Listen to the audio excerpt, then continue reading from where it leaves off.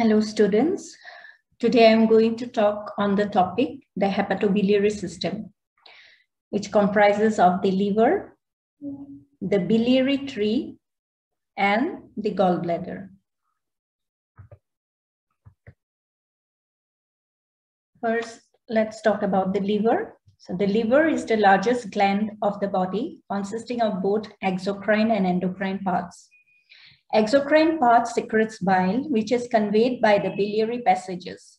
Endocrine part secretes some important chemical substances.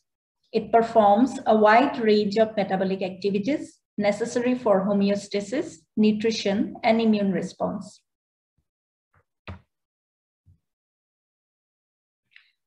Lobes of the liver. The liver presents anatomical and physiological right and left lobes, caudate and quadrate lobes, and sometimes a Riedel's lobe is present. So here you can see the anatomical lobes of the liver. This is the right lobe and this is the left lobe. These two anatomical right and left lobes are demarcated by the line um, of attachment of the falciform ligament. This falciform ligament is a double layered peritoneal fold which attaches anterior surface of the liver to the undersurface of the diaphragm, the anterior abdominal wall up to the umbilicus.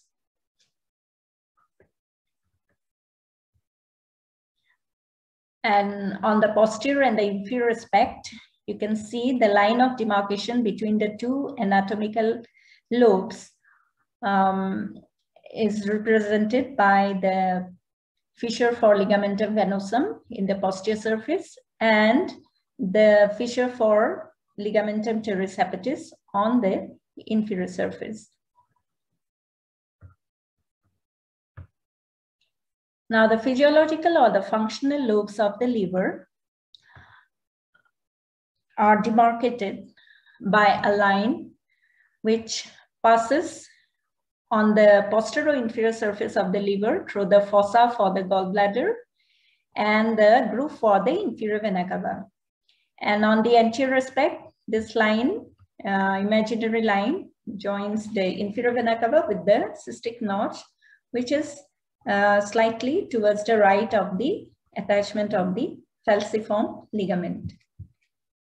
So this imaginary line demarcating the right and the left physiological lobes is known as the Cantlie's line or the cholecystovenacaval line.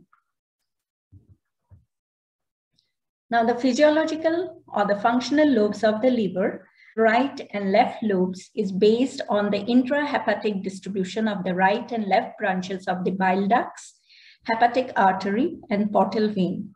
The physiological right and left lobes are approximately equal in size.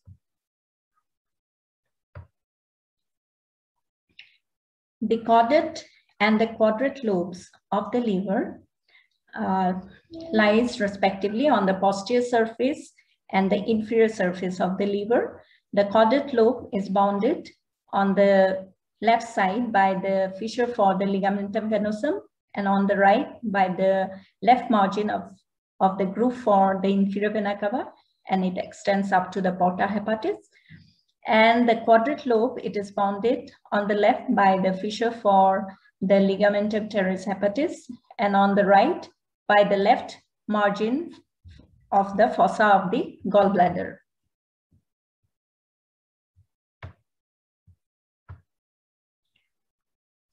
Hepatic segmentation. Within the physiological lobes of the liver, based on the division of the hepatic ducts and vessels, which supply a particular portion of the liver, eight surgically resectable hepatic segments are formed. Within the physiological right lobe, the right hepatic duct and corresponding vessels divide each into anterior and posterior branches. Thus, the right lobe presents anterior and posterior segments, and each of these segments is further divided into superior and inferior parts. So here we can see um, the right and the left branches of the hepatic duct and the corresponding vessels. And this is the right branch um, distributing within the right lobe, right physiological lobe of the liver. And this is divided into an anterior branch and a posterior branch. And based on this division, the right physiological lobe is divided into the anterior segment and posterior segment. Now, each of these anterior and posterior segments are again divided into superior segments and inferior segments.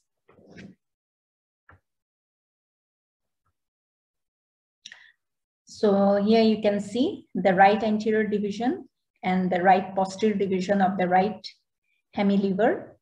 And this is the anterior superior segment. This is anterior inferior segment. And this is posterior superior segment.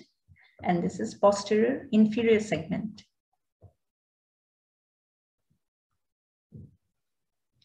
Similarly, within the physiological left lobe, the left hepatic duct and corresponding vessels divide into medial and lateral branches. Thus, the left lobe presents medial and lateral segments. The left lateral segment is further divided into anterior and posterior parts. And the hepatic veins draining the hepatic segments are intersegmental, that is drain, more than one segment. So here you can see this is these are the segments of the left hemiliver. This is the medial segment, left medial segment, and this is the left lateral segment.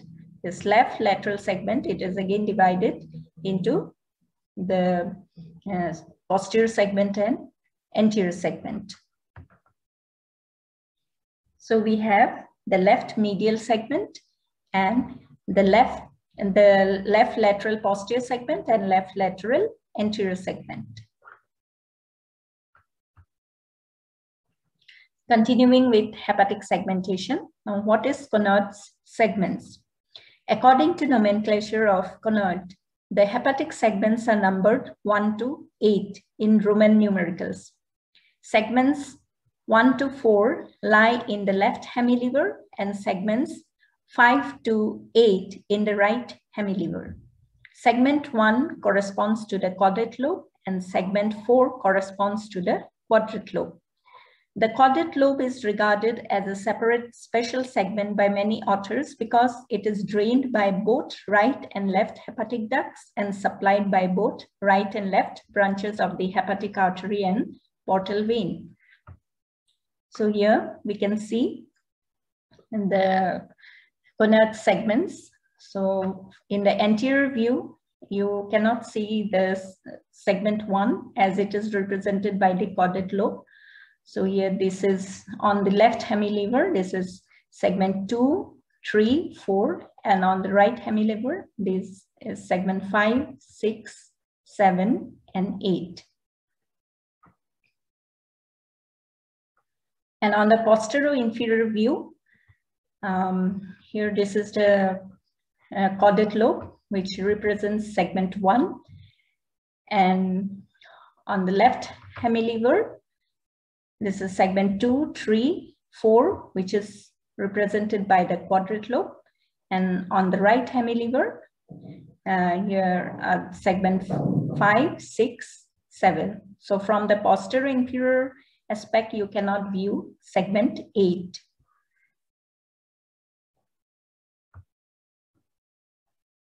And here you can see this is segment one which is a special segment because it is supplied by both the right and the left hepatic ducts and the corresponding vessels.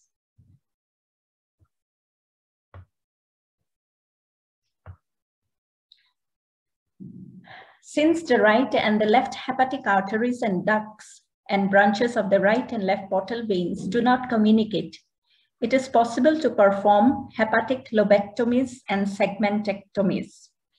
A large volume of livers, about 80%, can be removed safely because healthy hepatocytes have great capacity to regenerate. The liver can regrow to its original size within 6 to 12 months. Now let's look into the flow of blood and bile in the liver. So here you can see a histological picture of a portion of the liver parenchyma showing the hexagonal liver lobules with the central vein in the center and the interlobular portal triad in the periphery of this liver lobule. And you can see a small portion of the liver lobule has been enlarged and it shows the components of the interlobular portal triad comprising of the hepatic artery, hepatic portal vein, and the biliary duct. And we can also see the positioning of the sinusoids, the bile canaliculi in between the hepatic plates. With the exception of lipids, every substance absorbed by the alimentary tract is received first by the liver via the hepatic portal vein. And that blood, along with the blood in the hepatic artery, will be poured into the hepatic sinusoids, which will uh, drain into the central vein. In addition to the many metabolic activities, the liver stores glycogen and secretes bile. And here you can see the bile secreted by the hepatocytes travels through the biliary canaliculi in between the uh, hepatocytes. This bile canaliculi is uh, formed by the walls of the hepatocytes itself. And the direction of the flow of bile in this bile canaliculi is opposite to the direction of flow of the blood in the sinusoids. And this bile in the bile canaliculi will ultimately drain into the biliary duct in the portal triad. And from here, it will drain through the biliary tree. So here you can see the biliary tree so the biliary tree has got an intrahepatic part and an extrahepatic part. So this is the schematic illustration of the intrahepatic and the extrahepatic biliary tree. So here you can see the segmental branches of the hepatic ducts, which are draining the hepatic segments of the liver and they are this uh, prime uh, tertiary uh, branches, they drain into the secondary branches and then into the primary branches. That is the right main hepatic duct and the left main hepatic duct. And this, these two right and left main hepatic ducts then join to form the common hepatic duct, which then joins with the cystic duct and then will continue as the common bile duct. So the extrahepatic part, it consists of the right main hepatic duct, the left main hepatic duct, the common hepatic duct, cystic duct, and the different parts of the common bile duct. Now the extrahepatic biliary apparatus. It has got five components, the right and the left hepatic ducts, the common hepatic duct, the gallbladder, cystic duct, and the bile duct. Here in this figure, you can see the right hepatic duct and the left hepatic duct emerging from the right and the left lobes of the liver. And then they emerge through the porta hepatis and unite at the right end of, the, of this porta hepatis to form the common hepatic duct. And it descends downward for about 2.5 centimeters and it is joined by the cystic duct on the right and then it continues as the common bile duct. The angle between the cystic duct and the common hepatic duct is acute and it is known as the hepatocystic angle.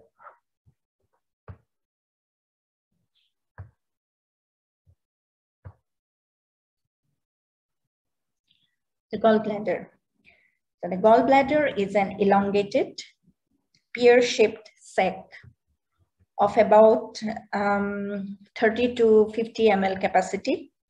And it lies in the fossa for the gallbladder on the inferior surface of the right lobe of the liver uh, along the right edge of the quadrate lobe. It extends from the right extremity of the porta hepatis up to the inferior border of the liver. Its function is to store and concentrate the bile and discharge it into the duodenum by its muscular contraction. Radiopaque substances, which can be secreted in the bile, are also concentrated in it. Therefore, they are used to demonstrate radiographically the cavity of the gallbladder and its ability to concentrate and contract, which is known as cholecystography.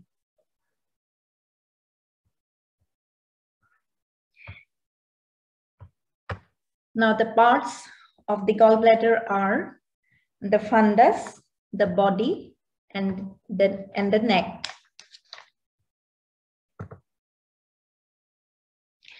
Now the fundus.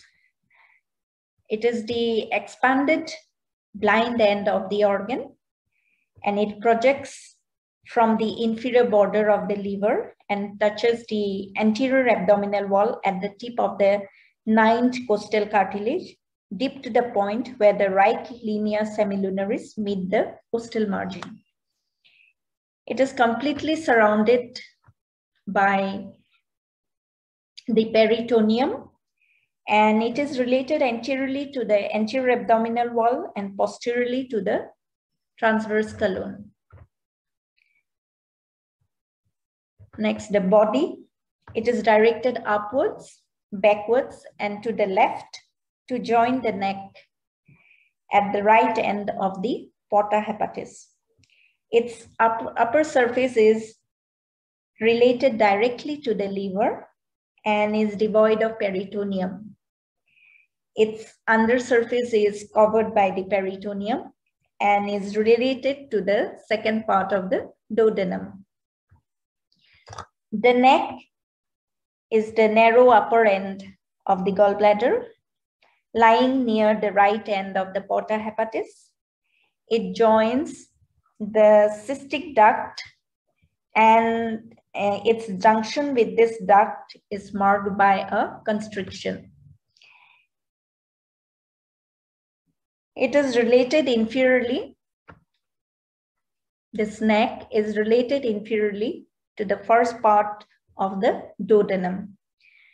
Its posteromedial wall shows a pouch-like dilatation, which is known as the Hartmann's pouch, directed downward and backward. The gallstones lodged in this pouch may cause adhesion with the first part of the duodenum and may perforate it. And this neck sharply turns downward to become continuous with the cystic duct. Now the cystic duct is about three to five centimeter long and it runs backward and downward from the neck of the gallbladder to run in the lesser omentum with the common hepatic duct and joins it at an acute angle to form the bile duct. Its junction with the common hepatic duct is usually situated below the porta hepatis and the mucous membrane lining the interior of the cystic duct is thrown into a series of crescentic folds, which are five to 10 in number. And they project into the lumen of the cystic duct in a spiral fashion, forming a spiral fold, which is known as the spiral, spiral valve of Heister. The valve of Heister keeps the duct open so that bile can pass through it both in and out of the gallbladder. When the common bile duct is closed at its inferior end, the bile secreted by the liver fills the duct and passes through the cystic duct into the gallbladder. Whereas when the common bile duct is open, the bile flows into it from the common hepatic duct and the cystic duct. The flow of bile is augmented by the contraction of the gallbladder. It is coordinated by the relaxation of sphincter of the common bile duct under the influence of cholecystokinin, a hormone released by the duodenal mucosa.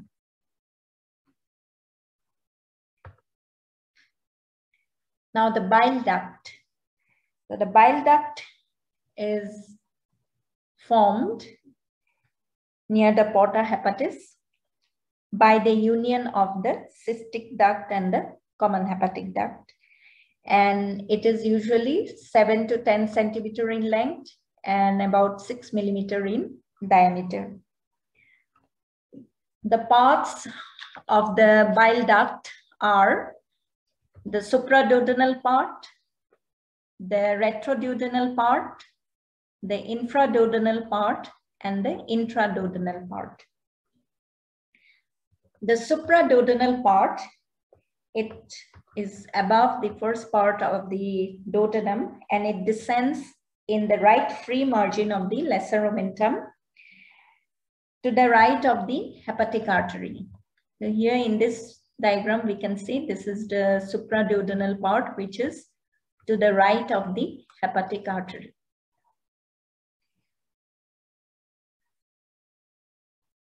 And it is anterior to the, the supraduodenal part is anterior to the portal vein. The retroduodenal part of the bile duct descends behind the second part of the duodenum and as it descends, it accompanies the gastroduodenal artery on its left and the inferior vena cava on its posterior aspect. The infraduodenal part runs in a groove on the upper and lateral parts of the posterior surface of the pancreas and is sometimes completely embedded in the pancreatic tissue. And on the left side, it is accompanied by the gastroduodenal artery. Near the middle of the second part of the duodenum, it comes in contact with the pancreatic duct. Now, the intraduodenal part of the bile duct, it enters the posteromedial surface of the second part of the duodenum in the posteromedial wall. The main pancreatic duct also enters the wall at the same site. The two ducts run obliquely in the wall of the duodenum and unite to form an expansion, which is known as the hepatopancreatic ampulla of Vater. And this hepatopancreatic ampulla of bulges the mucous membrane of the duodenum inward, forming the major duodenal papilla.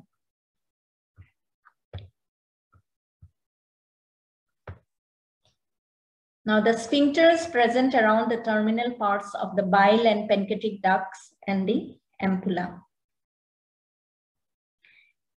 The intramural parts of the bile and pancreatic ducts as well as the ampulla are surrounded by smooth muscle sphincters. The sphincter around the bile duct is called sphincter choledochus of Boyden. And the sphincter around the pancreatic duct is called the sphincter pancreaticus. And the sphincter around the ampulla of Vater is known as the sphincter of Oddi. These three sphincters, they are independent of the duodenal musculature. The sphincters remain closed until the gastric contents enter the duodenum stimulating its mucosa to release the hormone cholecystokinin. This hormone, in addition to causing contraction of the gallbladder, relaxes the sphincters, allowing bile and pancreatic secretion to enter the duodenum.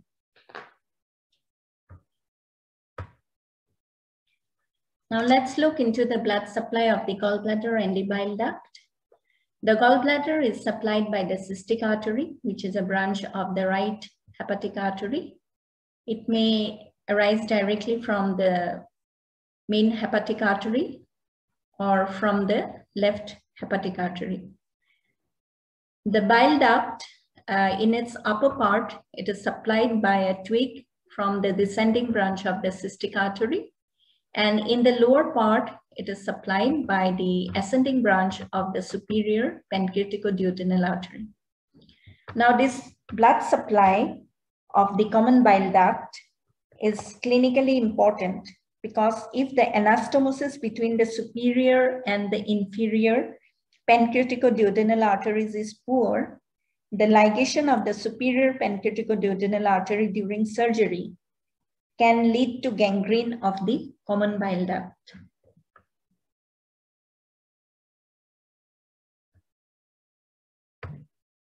The cystohepatic triangle of Calot. So here in this figure, you can see this yellow colored area, which is bounded on the left by the common hepatic duct, on the right by the cystic duct, and superiorly by the inferior border of the liver. This forms the cystohepatic triangle of Calot, and its apex is directed downwards between the joining of the common hepatic duct and the cystic duct. And the contents of this cystohepatic triangle are the cystic artery, the right hepatic artery, and the cystic lymph node of Lund. It is in this triangle that most of the aberrant segmental hepatic ducts and arteries are usually encountered, which may lead to many complications during surgery.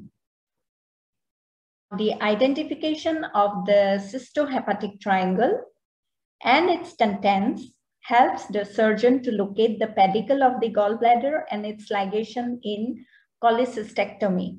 The errors in gallbladder surgery often occur from failure to appreciate the common variations of the extrahepatic biliary system. This occurs especially uh, when the right hepatic artery in the triangle, it presents a caterpillar-like loop, which is known as the Moynihan's hump, which may be inadvertently clamped ligated along with the cystic pedicle and cutting, which may lead to profuse bleeding.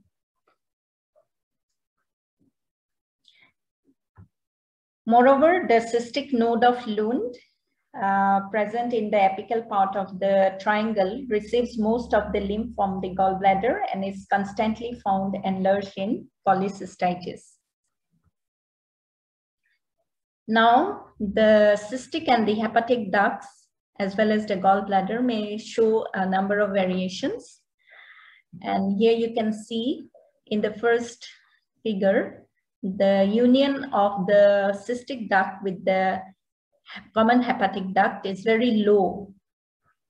So thereby a very long common hepatic duct is formed, whereas the bile duct is very short.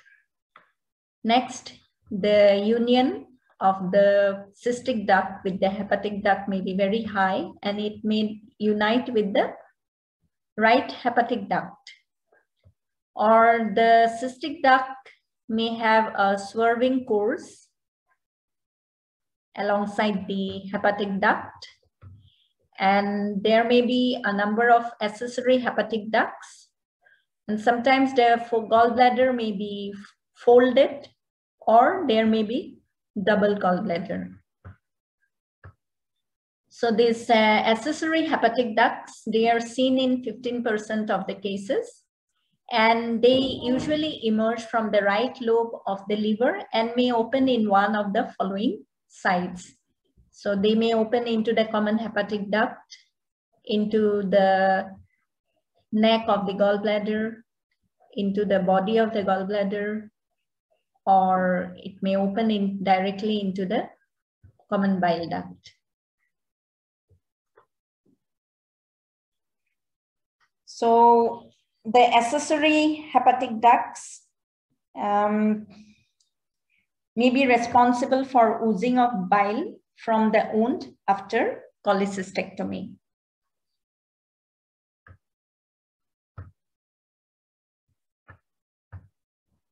Thank you. So these are the references.